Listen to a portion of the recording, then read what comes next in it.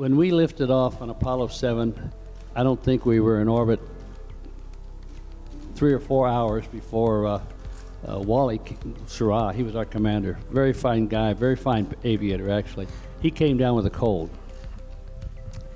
And there's an interesting story that explains how we ended up exposed to that, but we, he came down with a cold. Uh, Don and I had quietly, outside of NASA, gone off and gotten a, uh, a shot to try to prevent the cold, incidentally.